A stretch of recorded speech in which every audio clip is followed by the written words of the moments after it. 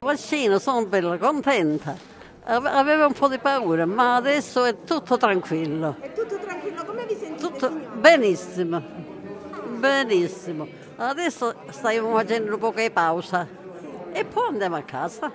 Farà appena faccio il vaccino. Eh, Bene, È contenta? sì. Cosa significa oggi per lei? Eh, boh. Cosa l'aspettava questo giorno, questo vaccino? sì, sì, l'aspettava, però non sapeva quando. Eh, Però- adesso può abbracciare i nipoti? Sì.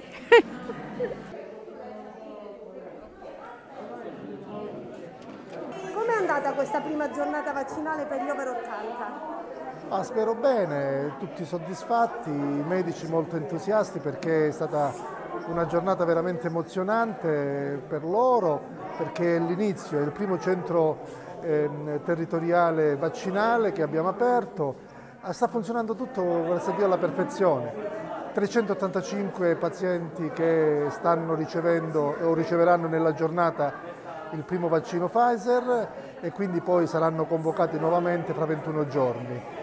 C'è un, un lavoro tutto quanto dietro, abbiamo coinvolto l'associazionismo, abbiamo coinvolto le farmacie, abbiamo coinvolto eh, l'esercito militare eh, che con il comando di Catanzaro ha mandato dei, dei propri addetti proprio per garantire sia servizio eh, d'ordine che eh, collaborazione nella fase dell'accettazione, così come le farmacie locali hanno dato la possibilità di conservare il farmaco eh, all'interno dei loro contenitori e quindi c'è un lavoro corale che appunto oggi sta fruttando molto bene perché appunto ci sono dei risultati importanti, c'è tanta soddisfazione da parte dei nostri anziani, abbiamo fatto tutto per loro perché eh, gli anziani rappresentano un patrimonio eh, culturale, un patrimonio storico, rappresentano la saggezza di una comunità e quindi è giusto che cioè, sono i più fragili ed è giusto che in questo momento gli diamo una mano per poterli tutelare nella salute.